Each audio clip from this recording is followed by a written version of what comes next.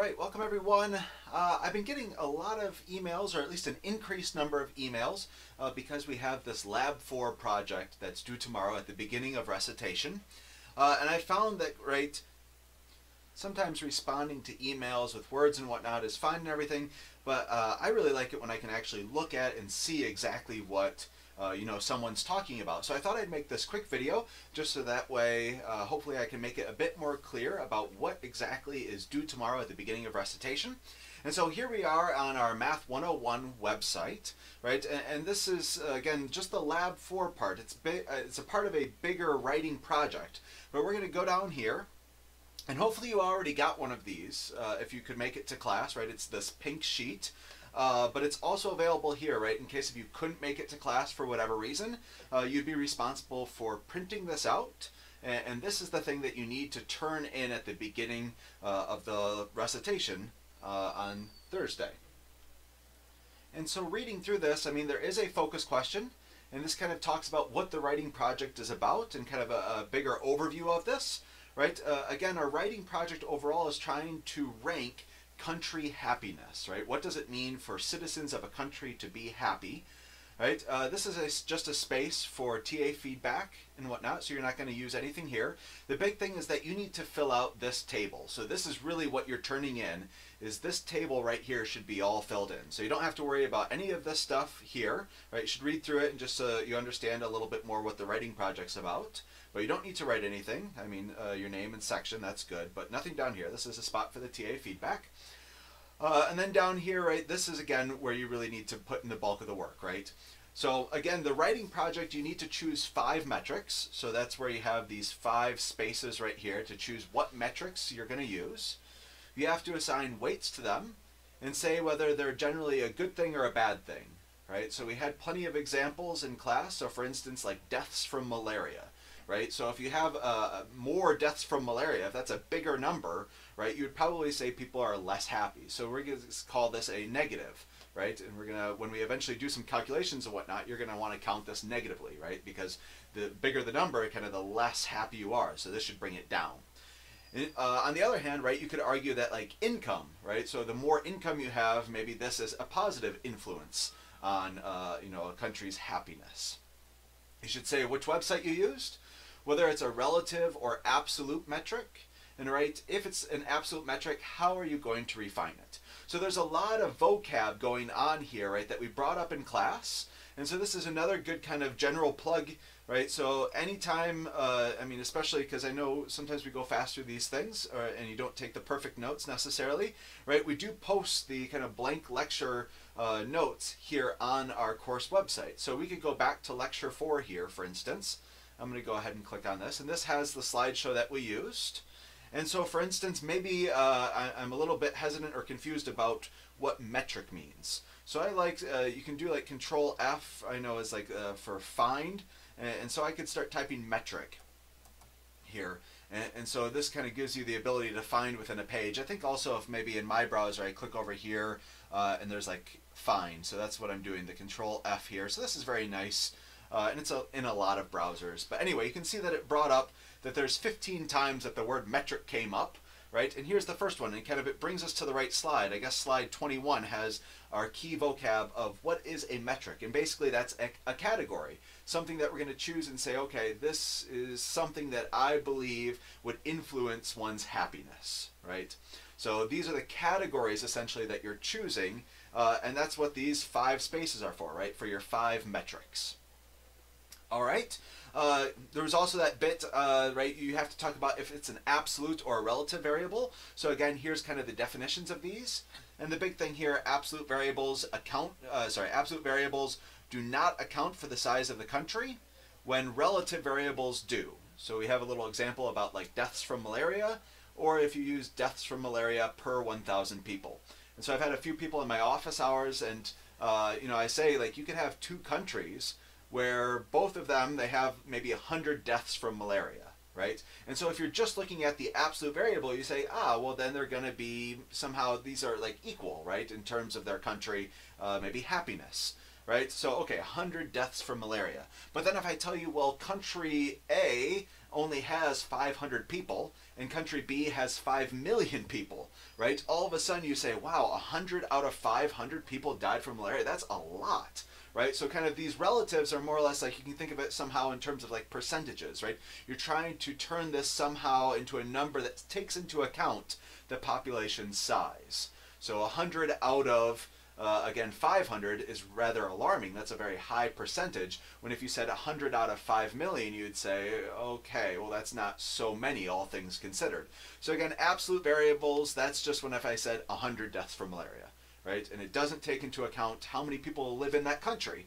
When relative variables, right, this sums this takes into account. And so when you go and you look up these metrics, uh, one of the common ones is like per 1,000 people. Okay, so that's kind of a, a general overview, and definitely I recommend kind of, uh, this is just one slide, you should reread kind of through all these things. For instance, right, when we are doing the weights, right, there's this uh, column here about weights. So it's important that, right, your weights should add up to 100%. So you have five spots here, right, for the five different metrics, and you should have five different weights, right? And so maybe there are things that you would say, okay, these really influence the happiness of a country, and so I'm going to weight them a little bit more. And maybe there's other metrics that you say, okay, this kind of influences happiness, but maybe not as much, so you can weight those less. Remember, in the end goal, right, you're going to have to look up uh, these for like all of the countries. Uh, and right in, in your writing project, you're going to have to specify why you chose the weights that you did. But for right now, the only thing that's due is metrics, weights, whether you're going to count these things positively or negatively, again, if that's a good thing or a bad thing, and then which website you used, and again, this bit about absolute or relative uh, variables, right, or metrics. So again, kind of going back here, these are the absolute and the relative variables. Now, uh, the question is, well, where do these metrics come from, right? How can I choose these five metrics? And, and, right, we have a couple of different websites, and that's kind of why we want you to specify which website you used. So there's a couple different uh, websites that you can use, this Gapminder or this CIA World Factbook. Uh, I've been using Gapminder quite a bit here recently. I, I, really like the layout and whatnot, so I'd recommend maybe starting with that. And so I already have Gapminder loaded here. You can see it's gapminder.org, and this is what the kind of home screen looks like. And we're interested in getting some data, so we're going to go over here to data. Let it load here for a second. And you can see there are lots and lots of things to choose from right? And in fact, so, oops, apparently something loaded down here at the bottom. Um, let's go ahead and zoom back up really quick. So this is just 25 indicators right here, but I'm going to go ahead and maybe select all, right? And you can really see how much data you have to choose from.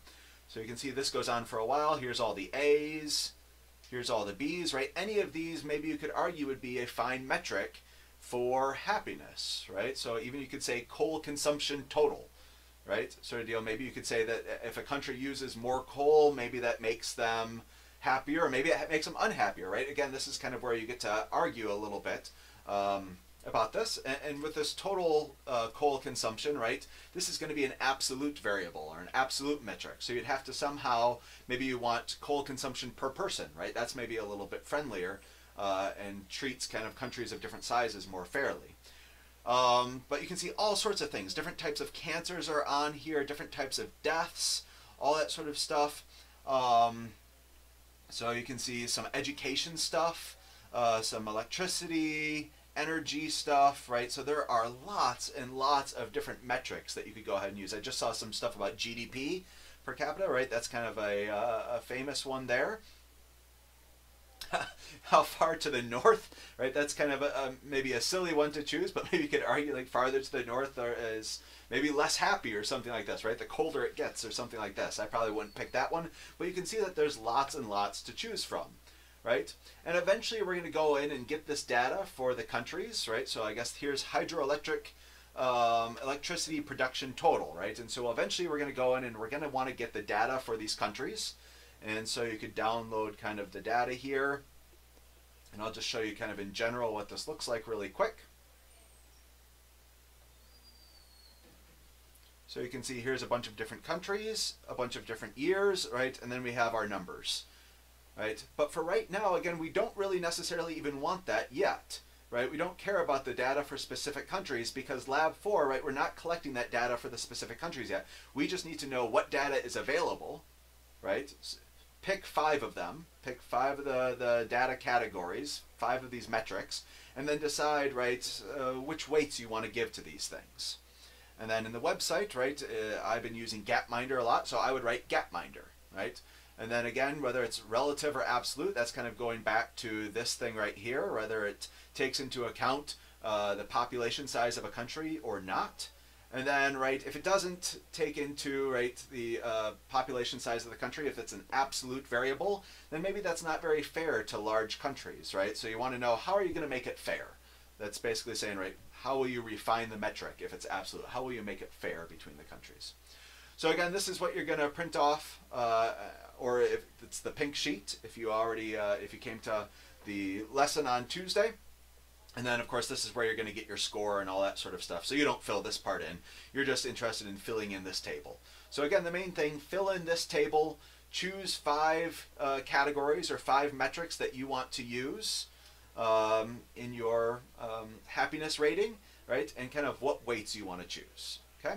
So that's the big thing, and I hope that this video has helped quite a lot.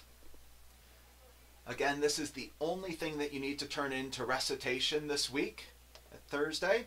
But uh, let me go back here. If you are interested in kind of a bigger overview of the writing project, right, this is where you get the Excel file and can actually see which countries you're going to eventually collect data for. Again, you don't need to do that right now.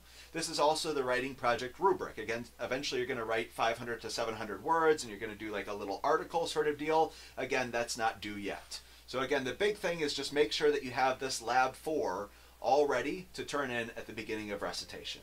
And likewise, uh, here's kind of the lecture 4. This is what I was looking at as far as metrics and all that sort of stuff. But if you miss any class, or right, or if you need just a, a, review, if you want to write a few more things down in your notes, right, we also post each week, right? You can see the lecture three stuff, you can see the lecture five stuff, right? So they're all available. But this is the stuff about rankings, which uh, kind of directly influences this writing project.